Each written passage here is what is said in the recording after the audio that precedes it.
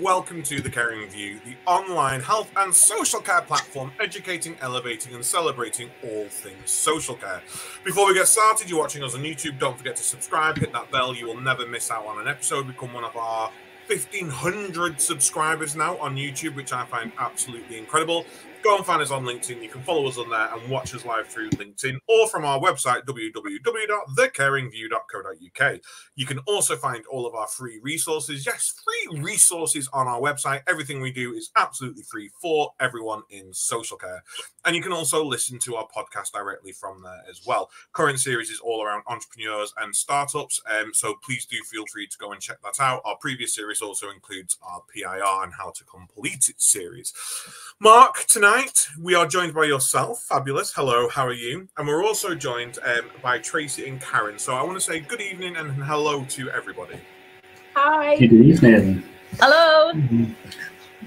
So tonight's conversation is all around CQC, the updates, things we need to be knowing about, what's going on, what's coming up, what's not coming up in some circumstances. So as always, need to preface this with this is our opinions and not of the uh, companies and organisations we represent, just in case I, you know, mess up and say something about CQC that I probably shouldn't. And just so everyone is aware, and this is the only thing I will say on this, is we have once again invited CQC to join us on the show and come and talk about this, and once again they have declined. Um, so we've gone for probably not actually the next best thing. The actual best thing is two wonderful experts in in the world of quality and assurance in care. Um, so Tracy, I want to come to yourself first. Do you want to just give us a quick introduction to who you are? Yeah, I'm Tracy, a director at Virtual Administration. We work predominantly with brain injury case managers and independent therapists.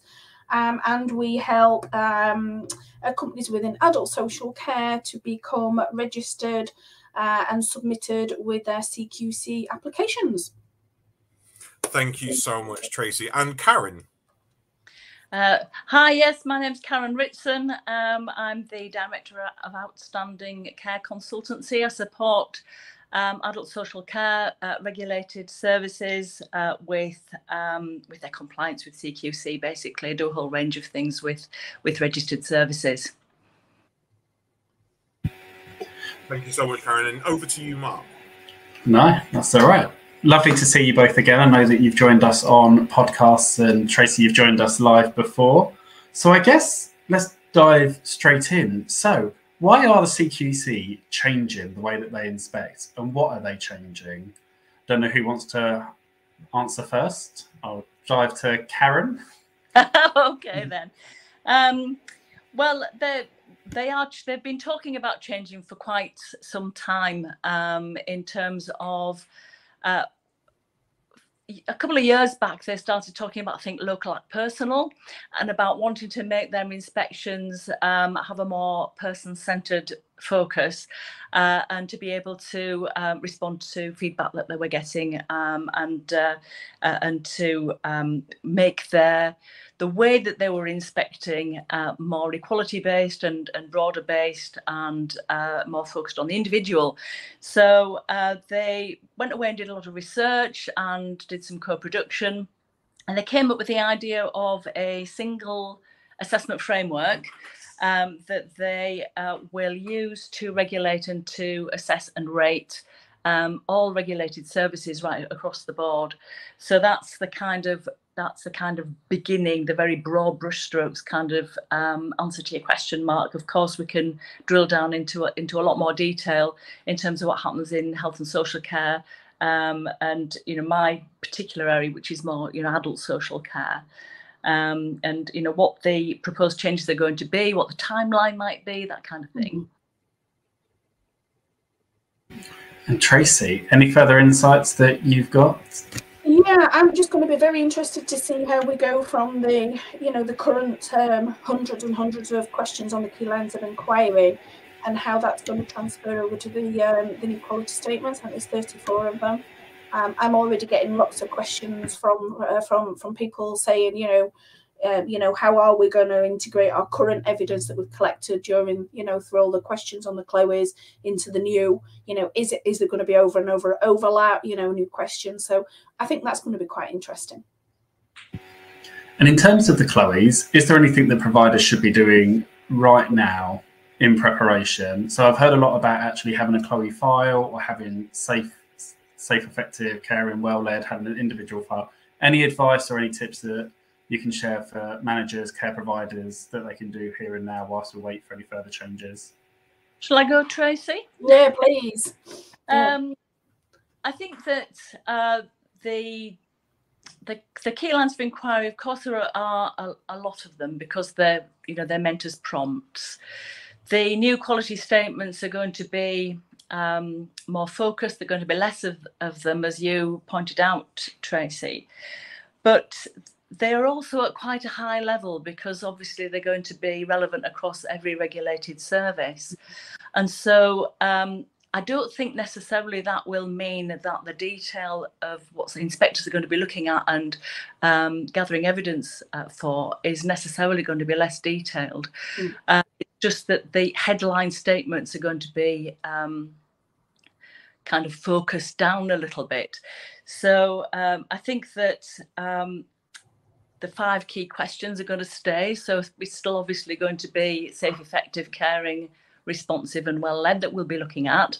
Um, and the KLOE's actually transfer across uh, to the quality statements actually quite closely when I've looked at them in mm. some There are some differences which we might want to go into, um, and some some changes of emphasis. I think more than more than differences really, um, and I think thinking about the differences between the KLOE's and the new quality statements might be the way that providers can go in order to help to equip themselves for demonstrating their evidence better uh, when they're preparing for the new style of inspection because it's not just the uh, KLOE's being um, replaced with uh, quality statements that's important, but it's the whole way that CQC are going to be inspecting, which is, is going to be different and which relies on providers being a lot more proactive about what they're doing, about how they're gathering their evidence, and how they're going to demonstrate that going forward.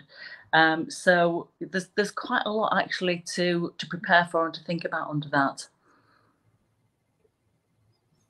Totally agree. Absolutely agree. I, I think it's you know whether it's a case of you know looking at what you've currently got as in your evidence and then looking at these new quality statements.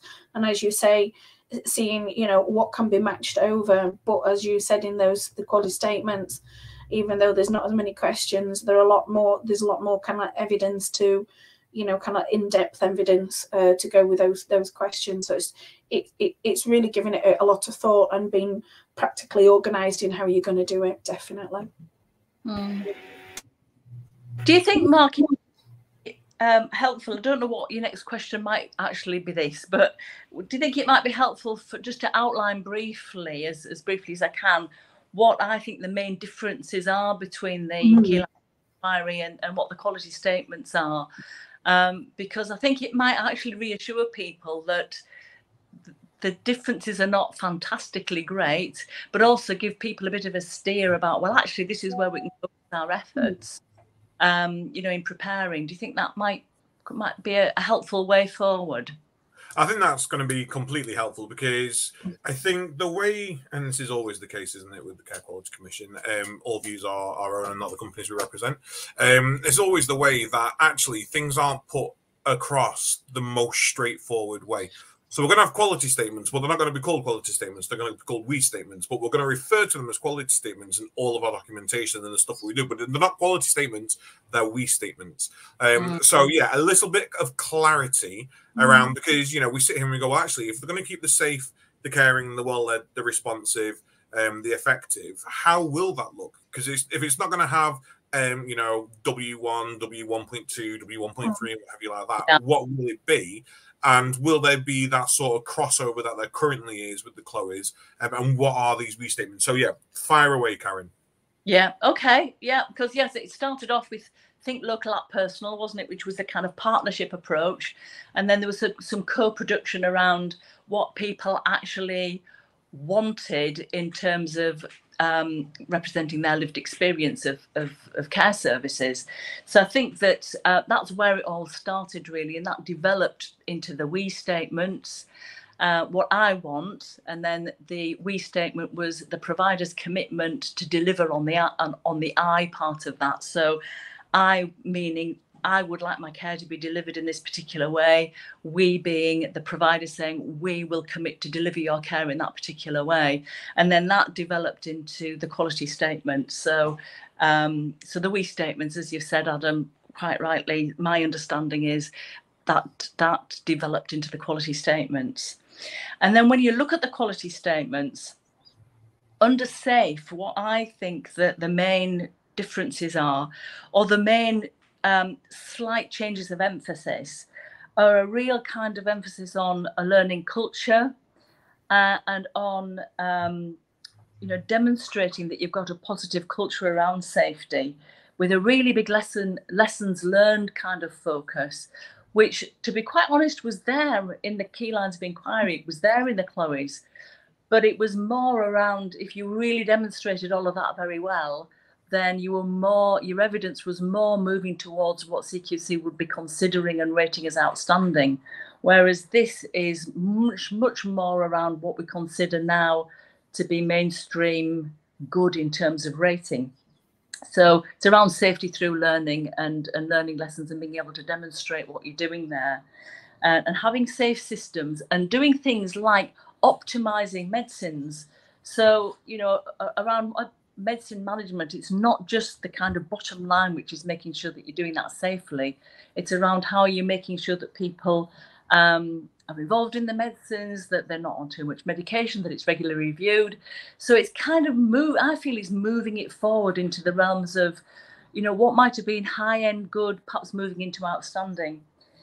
I'll keep it brief. So if we move into effective, I think the, the change in emphasis there is really strongly on uh, working in partnership and working together with healthcare professionals in order to improve care and outcomes for people. Um, and it's about promoting people to have healthier lives. So there's a lot of emphasis on proactive work with people. Under caring, um, I think the emphasis is much more upon a holistic look, not only towards the people that you're supporting, but also your staff. So, um, you know, if you've got a kind and caring culture towards your staff and that you're promoting staff well-being, um, I think that's a focus as, uh, within the quality statements and it comes across quite strongly. Under responsive, the thing that comes out to me quite clearly is about equality of access for people, uh, being uh, really mindful about the protected characteristics and listening to people's voices uh, who might be quite difficult to be heard, um, and um, having a really flexible flexible approach to choice and care and control for people around their care choices. And then under well led, I think that that that that emphasis on seldom heard voices is really strong, um, as well as uh, that equality and human rights kind of approach a really strong emphasis on on governance and people uh, services learning through their experience and through their analysis of data um, and having a, a, kind of innovative approach to embracing all things tech perhaps or different ways of being able to look at data and learn lessons which then translates into really good outcomes for people. So i think under well led the emphasis on inno- innovation uh, and uh, that that kind of the higher kind of uh, level of um, uh, leadership that I think CQC will be focusing on starts to help us see that I think that the new quality statements are CQC's way of delivering their strategy. So the you know their strategy with the, which they've talked about for a really long time, which we're well into, um, uh, was a, a, set of statements. But now I think this is the way that that CQC are going to realize that, or they're going to attempt to realize that vision um, when they eventually manage to start it. Obviously, that's not just yet. No, that was honestly really, really helpful and really, really useful. And I'm just going to quickly come to the comments before we move on. And um, Tina, who's joined us in the comments, um, and Tina said that they're working with uh, we, we statement. We are working with care providers mapping out. Sorry, I had to say that. Uh, care providers mapping evidence to regulations which are not changing, and then adding them to the quality statements um, to them as the regs uh, are not changing, and that they've run some workshops in this area, and that appears to be helping providers, which I think's a really, really sort of great tactic and a great approach. Um, and then she just followed it up with the information you were giving us then, um, Karen, and said, "Interesting." And don't you think this reflects um, the Francis recommendations? Mm. Yeah, I think that. I mean, I think that's absolutely great. And There's a really good point that the, the regulations, by and large, aren't changing. Um, uh, practically, you could say the regulations stay the same.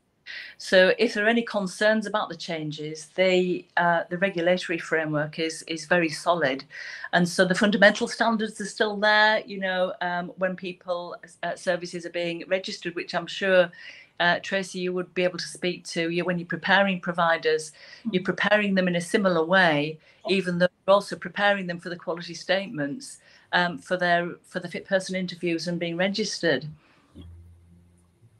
Yeah. Okay. Sorry, Tracy. Go on. No, I was going to say on that that front, the, that side of things hasn't changed. You know, I mean, I've I've seen the you know they brought out the, the newer version of the, the the two main application forms, and they've brought out a, what they call an additional form as well now, which is asking about more and um, insurance and geographical areas, all sides of things like that. But predominantly, it, the the actual application forms haven't really changed. Mm.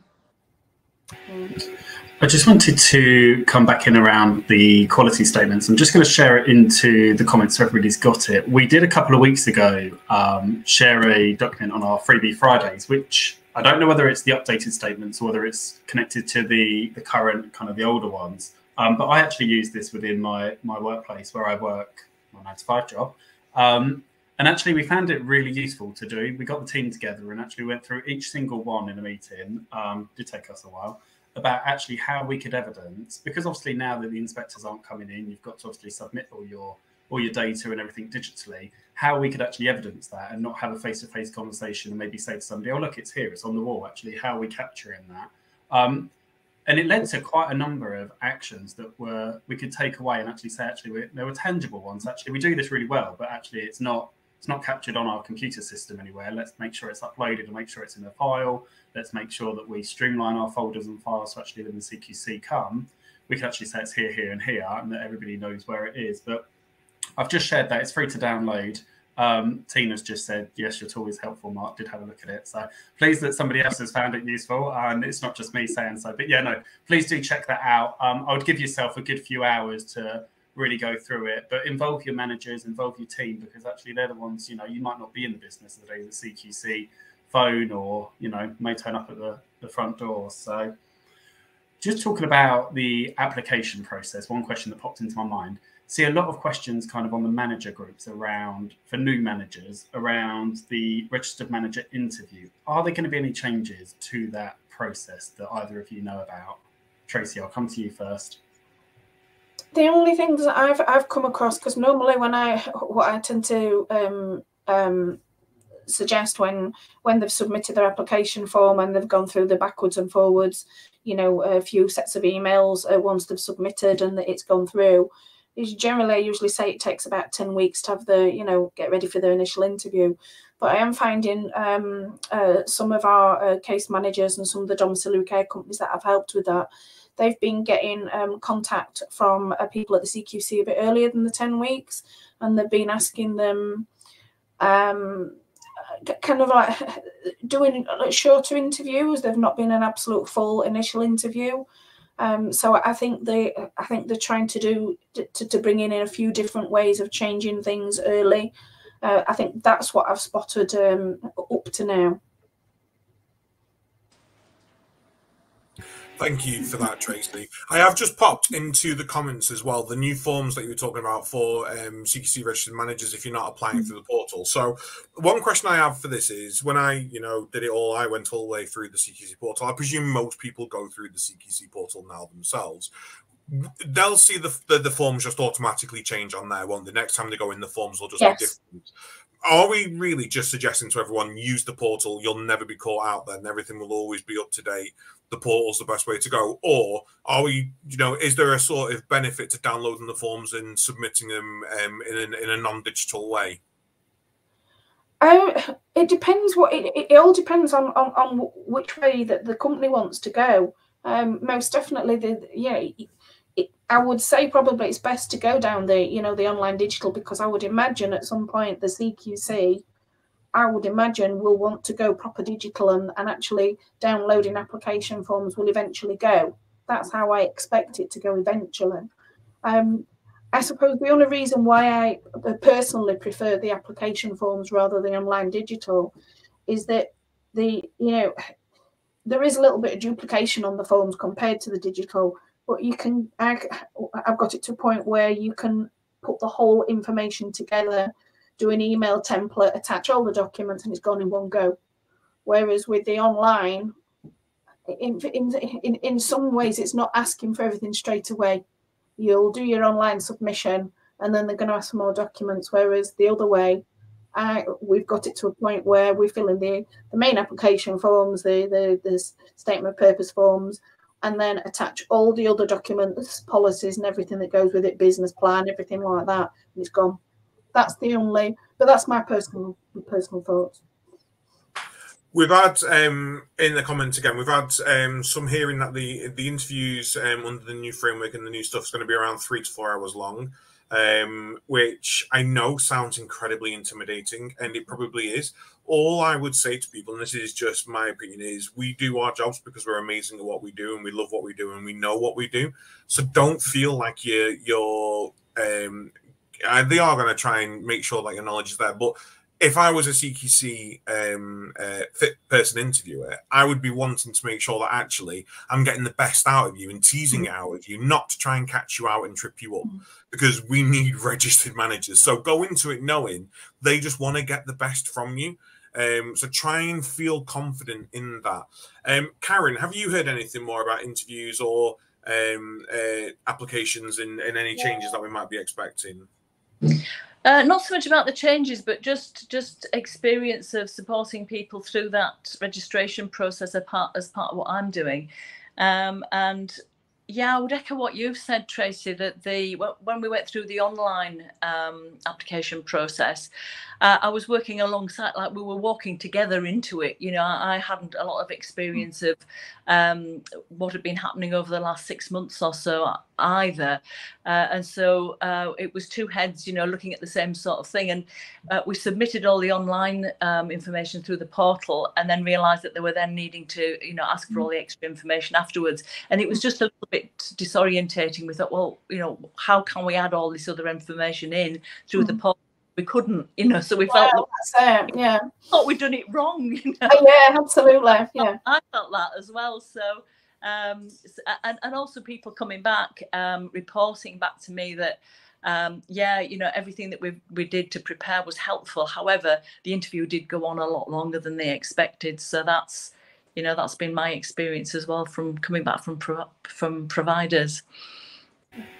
And I think just echoing on what Adam said, they're not there to catch you out. I've had a number of registered manager, you know, fit for person interviews, and I've actually found them really supportive. If they ask you something about standard or something that you don't know, actually, I've had one interview where they got it out of their bag and gave it to me and said, you know, look, you passed, but actually just read up on this and here's some further information. So I think if you don't know, don't try and BS your way through it. Just be honest yeah. and upfront and say, actually, I don't know, but let me make a note of that, and I'll make sure I do some research and you know upskill my knowledge on it.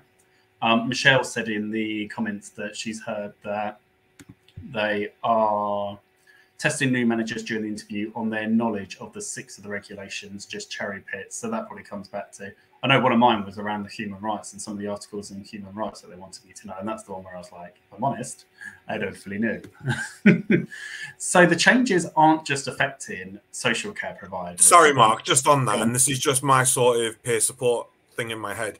If they do ask you a question and you genuinely fluff up or you do not know the answer, don't just go, I don't know. Back it up with, but I know where I can find that information. I know where I can go and look for help. I know where I can go and find that information to fill that gap in my knowledge. So from this interview, because I'm telling you now that I don't know what it is, I'm going to go and I know where I'm going to go and I know where I'm going to get that information because they mm. know then in those situations because you can't know everything in those situations where you don't know something in your head you know where to go and find it and that will give them so much sort of reassurance in you and your mm-hmm. management uh, capabilities as a registered manager.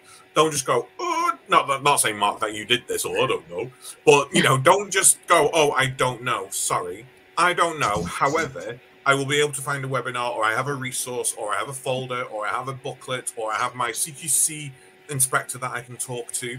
Just showcase you know where you can find that knowledge because it shows that you're willing to learn and grow and adapt. Mark, I'm so sorry. No, that's okay. Go on, Karen. I thought you were going to come in.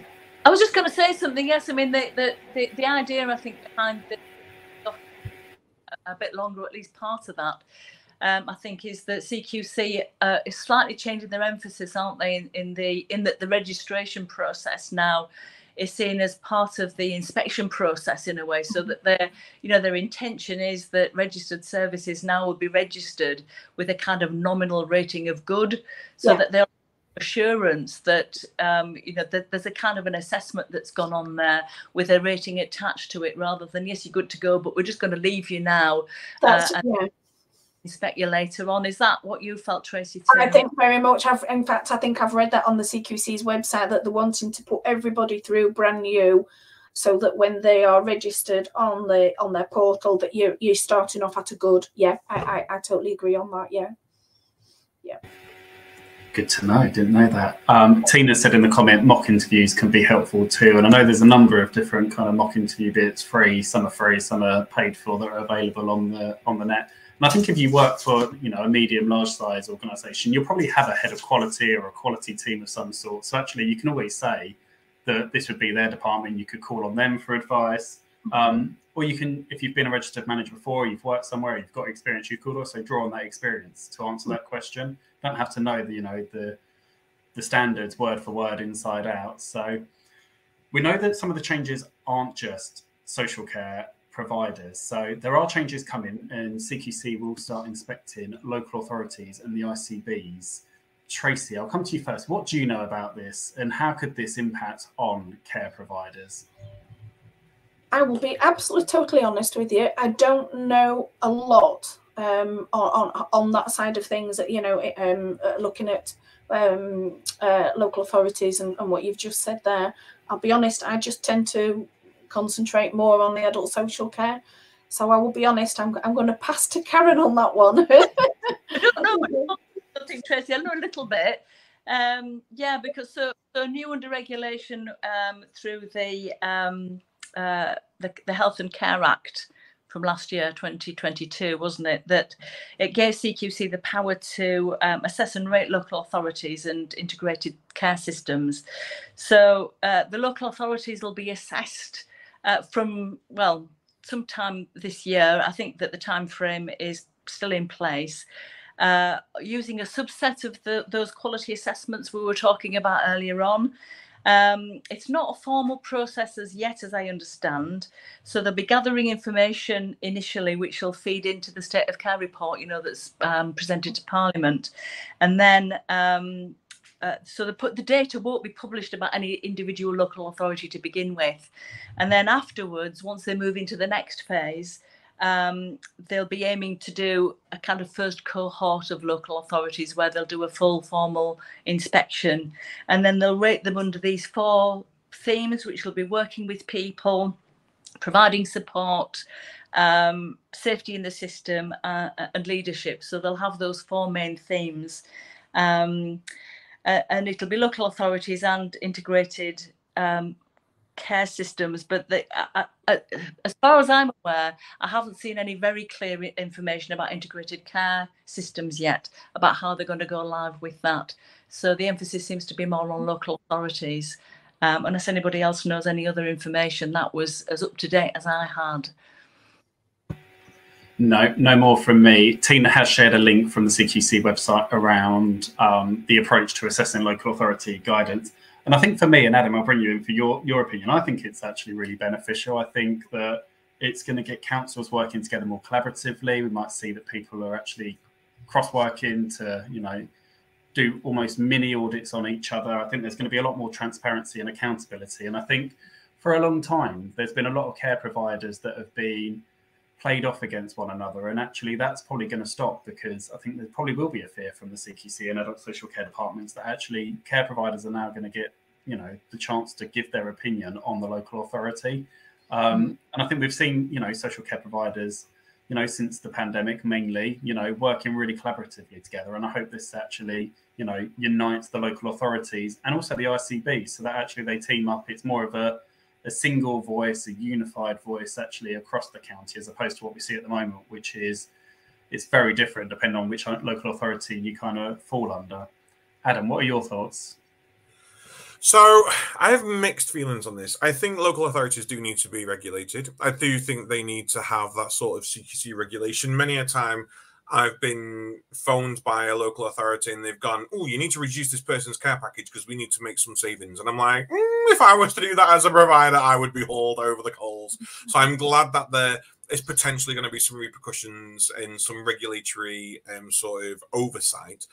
My my reservations come from the disparity that I still think social care providers are going to face within the world of regulation. If you regulate a care home and that care home is by CQC standards not fit for purpose, you go through um, you know a variety of in- inspections. You end up in special measures. You're still not working. Six months later you're shut down and everyone's shipped off elsewhere. Terrible for everyone involved. If you're a hospital you can't just shut a hospital down. And a hospital can live in special measures for god knows how long. And uh, you know, I think the local hospital near me has been in special measures about 15 times. If that was a care home, woof, they'd have gone. And I just have this horrid, deep sort of reservation that if local authorities are underperforming and aren't meeting their sort of regulatory requirements and needs and are getting requires improvement or inadequate reports, that the outcomes and the repercussions of said reports will be nowhere near as severe as they are for local providers and for, for mm-hmm. social care providers. And actually, social care providers, the care that in in the majority, yes, there are crap ones out there. There are shit ones out there that really do abuse people and are awful and should never, in the light of day, be close to anyone that we class as vulnerable. I, I get that.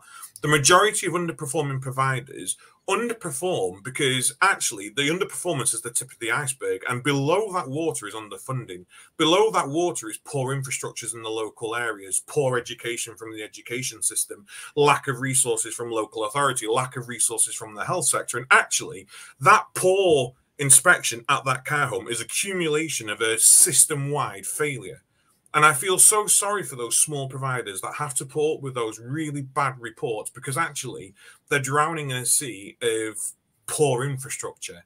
So, yes, local authorities do need the inspection, they do need the regulation. However, there needs to be a parity in how we then approach those that have got poor regulation. It should be a one for all sort of thing. I get a local authority is vastly different from a small provider, but a small provider has a lot less control over the situation than a local authority does. Mm. You know, if a local authority is underperforming because of finances, well, they're the ones getting the money from the government. You know, the, the care providers aren't. So there has to be some really sort of robust thinking mm. about this. Hat off. Soapbox gone. I think there's been a, a, such a, an imbalance um, of, of power in a sense around regulation, hasn't there? When um, inspectors may have gone to um, local authorities to get their view on, on say, residential care home providers, uh, but obviously there's never been any opportunity for that to work the other way around. So there's something in, oh well, you know, what what might our partners say about us? Uh, which hasn't happened, has it, in the past? So there might there might be something to be gained all around. I think from you know everybody potentially at some point being in the same shoes, um, and so there's a real kind of drive to work collaboratively. Whereas mm. in the past, perhaps it was a bit less of a driver. I think you know that there was. I mean, certainly there was that push towards competition, wasn't there, to begin with? Uh, which um, you know didn't really didn't really help anybody. So I'm hoping that it might help what work towards collaboration and and just being aware of you know nobody's invulnerable that everybody's going to be potentially on the receiving end of uh, a review from from another provider. We've had another question um, in the comments. Don't know why I was thinking of the word. Um, can one registered manager manage two companies? So slightly off topic. I have given a, a, generic kind of response, but I wanted to bring it in. So I've said yes, but the CQC will want assurance of how you're going to split your time, how you can ensure you can, you know, effectively manage both services. I was obviously worried about um, character limit that we have on on the replies. Um, Tracy Karen, any insight for a registered manager that is going to register over, you know, multiple sites? Tracy, I'll come to you first because I feel like it's probably more common in learning disabilities than it might be in in elderly services. I would imagine as long as you can um, quantify your answer, obviously in, in the application forms that you're filling in, but I would imagine the most um, the you know, the, the more kind of in-depth conversations will happen in the initial interview. They will want to know, you know, it, it, obviously part of fit for your person policy, all that side of things.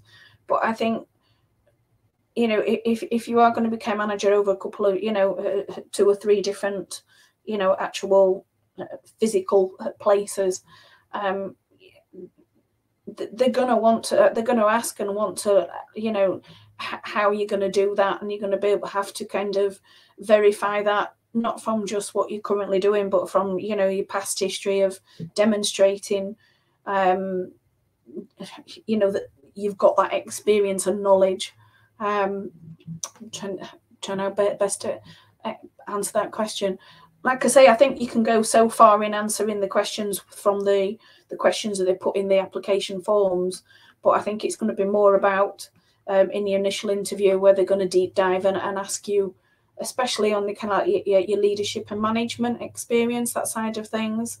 Um, I, I, get that an awful lot. You know, people say, "Well, I haven't got an actual physical qualification in leadership management," but I always say, as long as you can actually, you know, explain from your experience uh, prior, you know, what what you've been able to do, uh, you know, can prove it. Um, I don't think you always have to have some form of actual qualification to back that up. Um, that's my experience uh, that I, have come across so far. I think it, it also, um, Mark, probably depends on um, obviously the reason why you want to do it. Because I've, I've worked with um, a, a, number of different care services, and, and, one example might be that they, you know, one of the directors decides that they're going to be registered manager of the first branch, but they have an idea that they might want to grow that, and so when they open a second branch, they're then the registered manager for that second branch until they can nurture and grow and develop a, a manager um, that they bring in uh, and then get them to the point where they feel right you know we're confident now. We'll we'll put you forward for registered manager. And in that in that interim time you know a director's been the registered manager across two different branches for say for example domiciliary care um, which is perfectly a fair sort of thing and, and manageable thing to do. Um, so i think it's um, it's something that happens i think probably fairly often you know that, that it, it's certainly possible yeah I just want to come in on this as well. I think great advice from from both of you. Obviously, you, are the experts on this, and I just want to come from a, a, lived experience point of view. I'm I, I, I was a registered manager for two services at the same time, um, and the, there are just certain just certain things I would like to say. Statement of purpose. Make sure in your statement of purpose you back up absolutely everything. Acknowledge that you're a registered manager of another site and how your time is split and supported. Succession planning is another triggered word to use all the time when you're talking to CQC. I appreciate that my time is split across two services. This is how I envision the percentage and proportion of my time. This is my mm-hmm. reasoning behind it. So it might be 70% at one site, 30% at another. One might be 50 beds, one might be 20 beds. There's your reasoning. However, on that time when I'm not spending 70% of my time at this place, my succession planning plan is that my deputies, my team leaders, etc., hmm. etc., are trained and, and they're able to do this because not only does that allow the service to run whilst I'm not there managing that one because I'm on the other side, it also makes sure the service runs when I'm not there because I'm on holiday because I'm going to need it. So make sure that you focus on that succession planning angle as much as you can do, and and just back everything up in your interview. Just explain why you're doing it, why there's a reason you're you're the, the registered manager for two services. Don't go oh because I want to and I'm really really work hungry. Showcase why your experiences validate you doing that and how the structure that you've currently got underneath you supports you to do that. Ideally, they would probably just want one person to be registered at one place. You really do need to back up why it is that that's the most viable option. So, Karen, like you're saying, it could be that you're actually bringing in a new trainee and you don't want to just throw them into the wolves and you're going to RM at both places and guide and support and maintain it that way. It might be that you are actually really just struggling to hire another registered manager. It happens. It it's difficult. It's really really tough. So in that case, I'd be saying I'm a registered manager at both sites, but because I'm joint registering at both sites, I've got two deputies in both care homes. So I've actually increased the understructure because whoever owns because you're a registered manager and you're a registered manager both sides. Let's not be daft. You don't own that business. Very, very rarely will you own a business and be registered managers at two sites. You'd have to be absolutely daft to be able to do that. So someone is saving some coin somewhere because they're not having two registered managers. And you need to acknowledge that within the service as well. So CQC will know that. They will know because they've got one registered manager looking over two sites. They'll go, So where's the rest of that money going where you could have spent it on a second registered manager? Showcase that it's being used and invested into support systems below you. So it's completely doable. It's a headache, and you need the support of your director and operator. But as long as you're confident in your abilities and you're competent in what you do, it is a thing you can do but they will want to grill you more so than just a normal registered manager. Mm. and they mm. will not try and trip you up but they'll go but so this is a, a, home care like i was. I was a home care service and a care home. So it was like well how does your expertise from the care home transfer to the home care? Do you sure you've got both sets of knowledge that you actually need? So it's it's really really interesting um, and i will say if that's what you want to do do it. But yes very very sort of they will focus on that ability to split your time and support your team and the people who uh, provide the care to. I'm going to put a plug in it and go back to Mark. Can I just add an extra bit as well? I think it's really massively important that you have a really good, solid business continuity plan as well. No, 100%. 100%. So, we know some of the changes that are happening but we also know that CQC are planning some other changes. So I'm going to share a link into the um, comments in a section um, in a minute. Um, so they are currently looking at how they can make it more transparent, how their inspections and the reports are portrayed on their own website for families, for you know, for providers themselves. Um, and they're currently collecting research on those proposed changes. So it's on something called Citizen Lab, which I know a number of people um, that are watching tonight.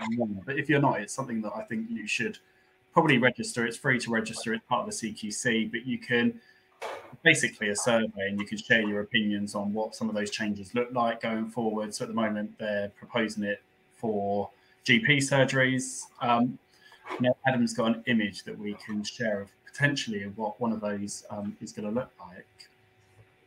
So this is potentially how it would look. So the number in the middle is how you've scored out of 100. Um, there's also going to be some regional graphics that come up so you can see kind of how you compare to other services um, within your area, but also nationally. So you can see kind of visually very clear actually where you are compared to a to a national scale. Karen and Tracy, what are your what are your thoughts? Let's touch on this this rating system first. What what are your thoughts on this?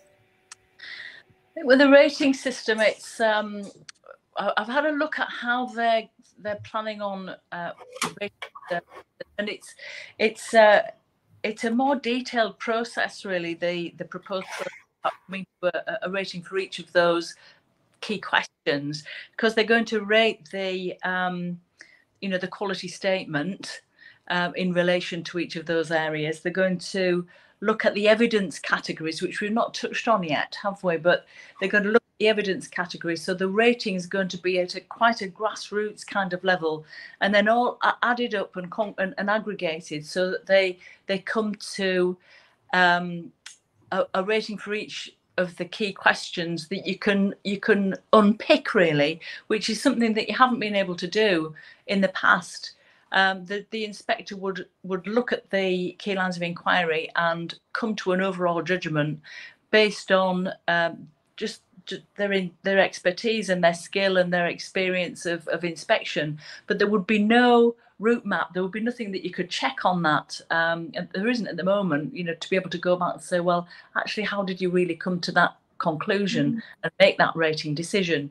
Um, so I think that's uh, an attempt to make that more transparent. You know, that you can ratings being built up uh, for each of the areas, and then that will obviously then translate into um, an overall rating for the service. So I think as far as that's concerned, it makes it a lot clearer. The reports, I think their intention is that the way that they will report under the new way of inspecting uh, will be simpler and more straightforward. And perhaps, although I'm not certain, but perhaps a little bit more public facing rather than provider um, facing. So uh, really, I think in the intention behind the the reports that are published now, although obviously anybody can look at them and they're published, so you know people have access to them. They have a feel of being more of a private conversation between the inspector and the provider because they go into such a lot of detail. There's often you know fair amount of uh, jargon and you know. Um, uh, vocabulary in there that's not necessarily that user friendly. So I think the idea is that CQC is going to make that more transparent. In simplifying it and in making it more transparent, there is always the risk of losing some of that detail and losing some of the um, the, reasoning behind it in the in the very fact that you're going to strip it back. So it'll be interesting to see how uh, CQC um, work with that in order to create consistency because that's the big thing isn't it? You know it's something that's come up in the past about individual inspectors interpreting things in their own way. Um, i would hope that they would have something about consistency in the way that they're training their inspectors to, to use this new system. And that's what I was going to say is that I think it's great for benchmarking, and I think it will definitely highlight very clearly whether there is a locality divide. Um, I think one thing that I'd be interested in knowing is actually if you've got outstanding rated care services or even requires improvements, actually whether there's going to be a benchmark that's aggregated for that. Um, so actually we can visually see whether or not, you know, whether it is just one inspector going around giving lots of requires improvements or lots of outstandings or whether actually that is, you know, what they've been trained to do. And we obviously know from the CQC, from the statements that actually they're still in the process of training their inspectors in the new new methods. So there is another slide as well, which I, I quite like, which is the one that compares it to regions. So let me bring that hmm. Adam and I are both doing it at the same time. Um, so there's this one here. Tracy, what are your your thoughts on on this? So this is obviously a doctor's surgery that they've used as an example, but it gives you kind of where they're sat um, in their journey. So 72 in the in the good, um, and then obviously the comparison to what other GP surgeries are in in England on this one. Well, first of all, it's a good visual. Um, I think that's first of all uh, making it transparent so that you know people can see it's got an actual visual using graphs. That side of thing is always good. Um, yeah, comparing it as a you know having like you say, it's I suppose it's like having your Ofsted, isn't it? Really, with you know you've got your your your, your standards and it shows you know with a school where you are within compared with everybody else. So I I, I think it's a good way of, of doing it. Um, again, I would say anything that just gives a little bit more information um, and is a lot more easily uh, to see visually is definitely going to only help. Um, whether they, I don't, I don't know. I mean, I'm thinking of kind of like your Ofsted inspections and how they you know give you a, full rundown rundown of all the schools and it's it's not name and shaming but they it, it is quite competitive um, in how they do that whether that it is going to the CQC will ever do that as a kind of like providing a, a rundown table of who's at the top and who's at the bottom. I don't know. Would that be good? I don't know. And we've got one more slide which is taken from the survey. Um, so let's add that so this kind of gives you a, a bit of a better picture of kind of, so it's giving you a reason why they look at those changes, um, a bit more insight into those graphs. So I was just having a look on the link that I've shared in the comments. They've only had 37 people um, that participated in this um, this survey. So I definitely think that if you're watching and you think, actually, I really like this, or if you think, actually, I really don't like this, that you should, you know, hop on and and give your feedback. I will be honest, it is quite a lengthy survey. It's not, you know, a five minute and you're done job. You probably want to leave like 15, 20 minutes to do it. I think for me is they're capturing a lot of data from care providers now, and they're asking a lot of care providers to go digital. And actually, I think for me, these visual graphs actually show that they're utilizing some of that data, um, as opposed to you know lengthy reports that we know were they had sentences that they could pick and choose from to make those reports. So I personally um, like them. We've had a question come in um, for Karen. Um, Karen, what impact do you think the new report style will have on FAC and legal challenges? We know reports are a bullet point style now. Don't know if that's something you can answer or not, but I thought I'd bring it in.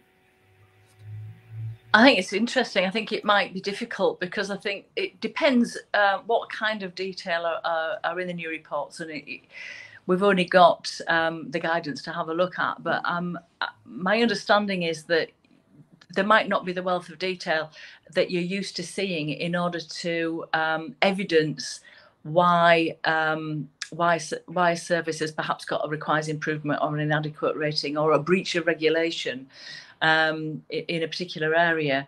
Uh, because that would be quite a detailed deep dive, wouldn't it, in a report? Mm. And if they're not going to be particularly detailed, then where will that information actually be for providers? And if it's not in the report, then the, the factual accuracy sort of challenge would have to be well, you know, where where have you got the evidence for that, and can you please demonstrate that to us?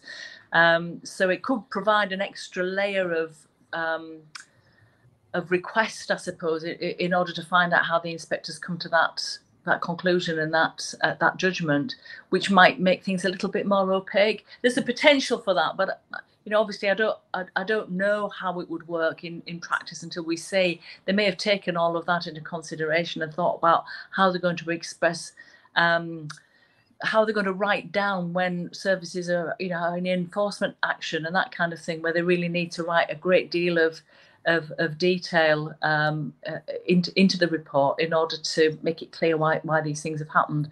But I mean, I suppose even now, if, if you're talking about something as um, as detailed as enforcement action, there's a whole lot of stuff that goes on behind the scenes, isn't there, with warning notices and all the written stuff that the provider gets sent to them that the report will only will actually encapsulate that in a much more in a briefer sort of way so there may be there may be ways in which um, uh, people who are working on behalf of uh, providers who want to challenge or who want to um, submit factual, factual accuracy um, comments themselves that they might be able to look at the data that's behind that. I'm not sure.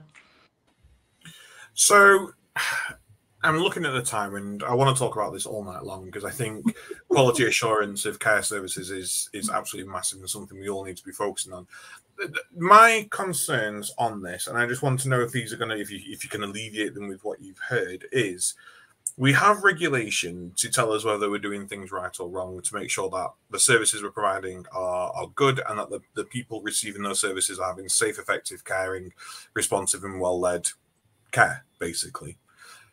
If and this is a, a, thing brought up from Michelle in the comments But if the reports um, are going to be brief um, and and and not that detailed, is how are we supporting providers to get better? How does this new framework which makes things better for the inspector, which makes things apparently better for for people to see in their services. Um, however, Zita in the comments has said that actually the relatives who've been shown this survey, which I think is fantastic, by the way, if you're running a service um, and you know of this survey and you know this consultation, get the people who are using your services involved in their relatives.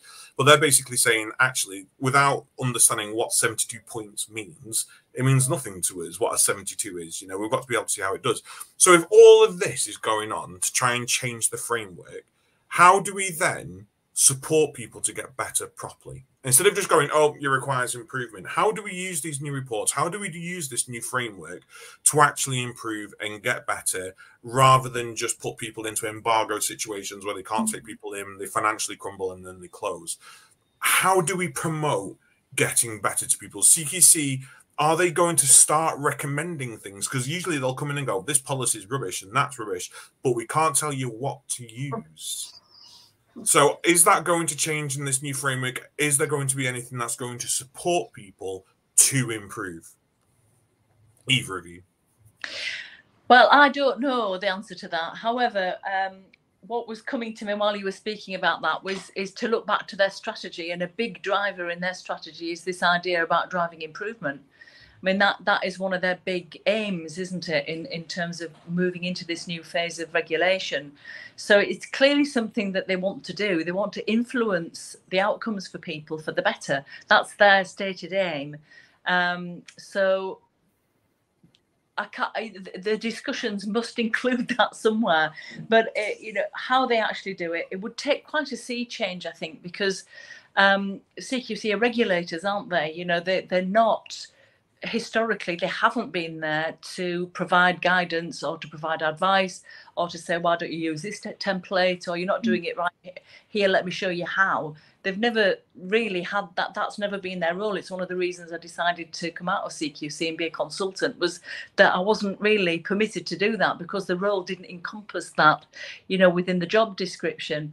Um, so individual inspectors you know can't help that. That's just the way it is but in order to drive improvement i think you know that's got to change hasn't it i'm not at, at the moment i'm not quite sure how that's going to knit together i don't know if anybody else has any ideas on that I'll be honest, I'm really, really hoping with, you know, instead of it just being literally, you know, um, you submit, you have your initial interview and then you wait for an inspection.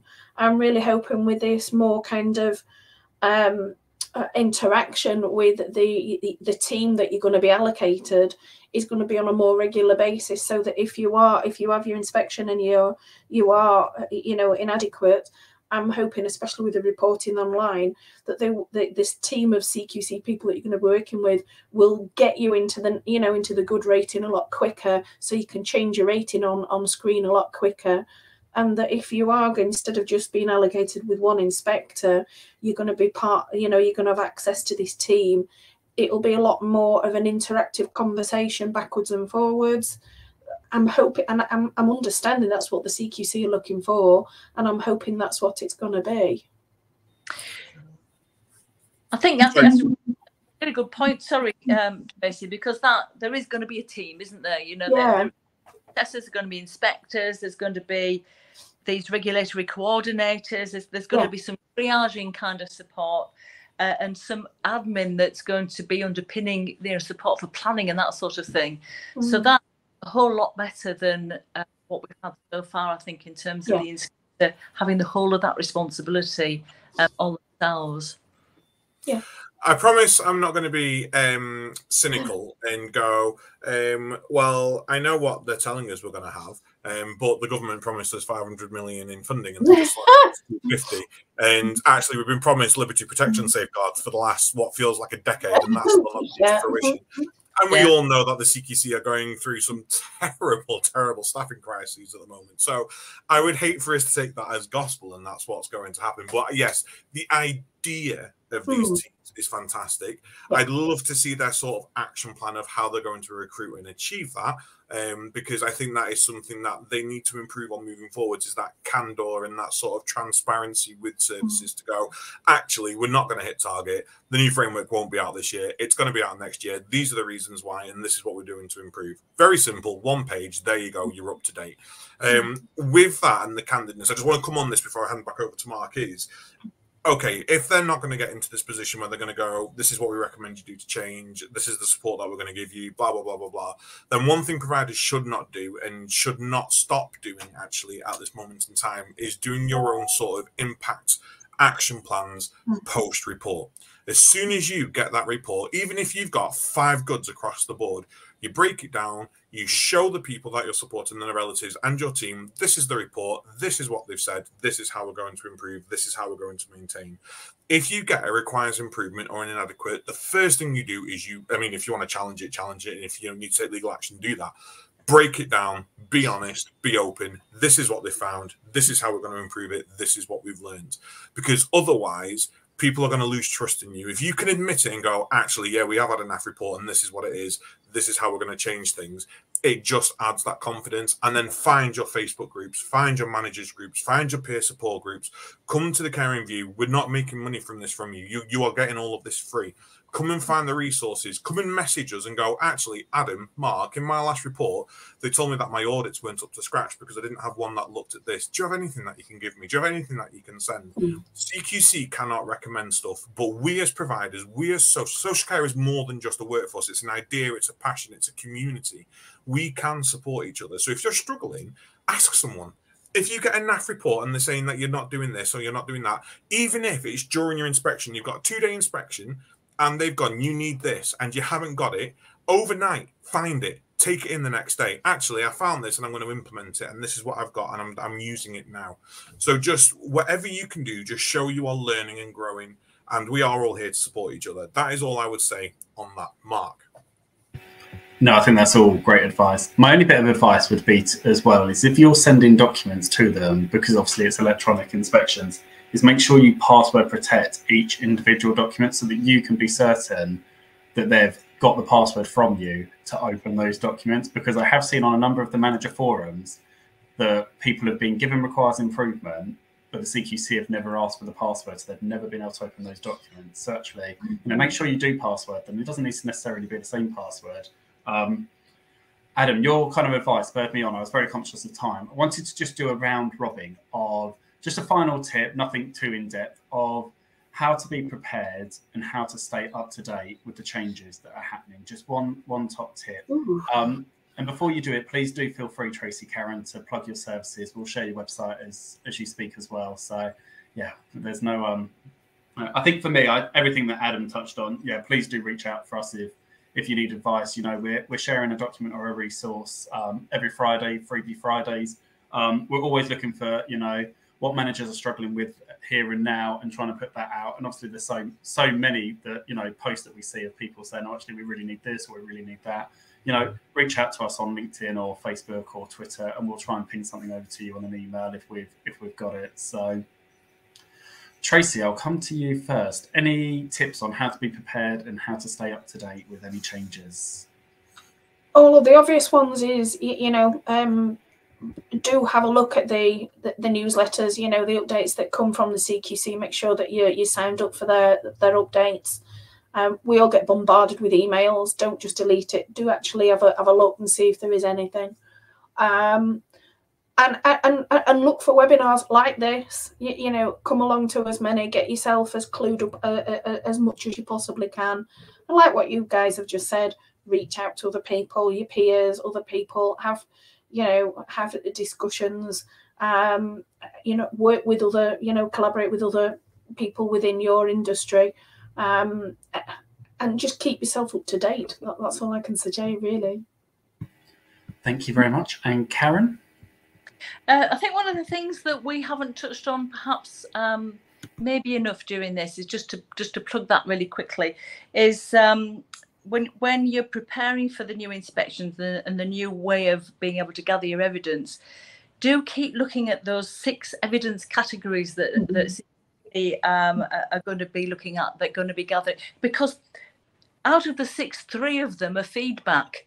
So if you get yourselves, um, if you're proactive and you get lots of feedback from the people who use your service, um, relatives, healthcare professionals, um, you know, uh, staff and, and, and leaders within the service, then if you've got feedback that you've gathered and you know from lots of different sources, it's less likely that they will then feel as if there are lots of gaps that they've got to plug. So look at those evidence categories. Um, and then the other thing I suppose is just about about myself.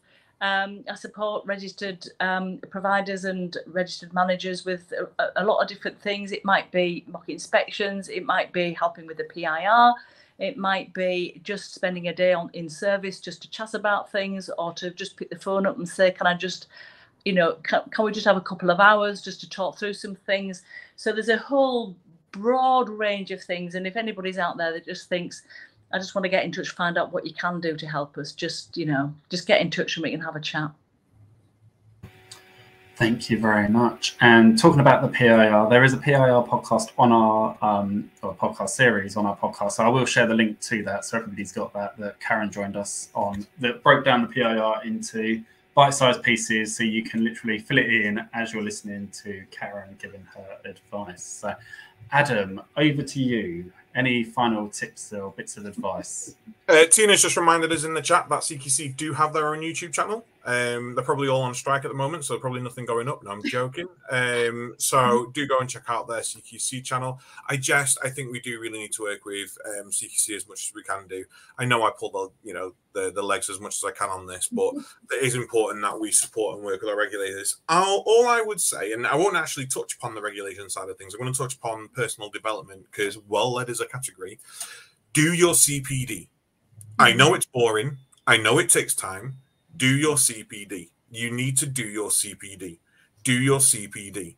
If you're going to do anything, do your CPD. Show CQC what you've learned, and don't just go. I went to this webinar and I learned this, and I got, or I, they spoke about this, and I got three CPD points. I went to this webinar. They spoke about this. My main takeaway points were this. I implemented them into my service like this. This was the impact on the people I support showcase how your learning has grown your service and your business and split if it makes it easier split your cpd up into different categories so mm-hmm. split it up into safe caring well led uh, um, uh, responsive and effective you know split it up into those different things so actually when cqc come around and they go well how do i know that you're being safe well actually a couple of the webinars i've been on flick through cpd mm-hmm. folder this on safeguarding this on LPS, this on this, this on that, has shown that this is my learning and this is how I've implemented it. This is the impact. So as long as you're doing things like that, they will understand and they will, and you've got it then for, you're not a manager now. People listen to this who aren't a manager now. Do it. Start now. You're a care assistant. It's amazing. Start now. So when you go and do your registered manager interview, flick through your CPD folder when you're on the phone to them you know, tell them where you've been and how you're investing in your learning. Do your CPD. Santa Claus will bring you a nice big present at Christmas if you celebrate it, uh, or you know whatever presents you get during whatever holidays you celebrate. You will get something fantastic. It's important. Do your CPD. There we go. Did I get that point across, Mark? You did. And I did share in the comments my only other bit of advice that popped into my head was don't gatekeep information. There's a lot of changes happening, and Adam and I have spoken about this before. Is you know, if you've had a recent inspection, share your experience, talk about what they asked, how it went for you, any insights. If you've seen an event advertised, you know, share it and and collaborate, and we can all learn together and actually, you know, because ultimately it's only going to benefit social care altogether, and it's going to elevate, you know, the positive image of the sector. Um, yes. 100%. Don't be that person in a Facebook group who goes, Oh, I've had a really bad day today. I've had my inspection and it's not gone well.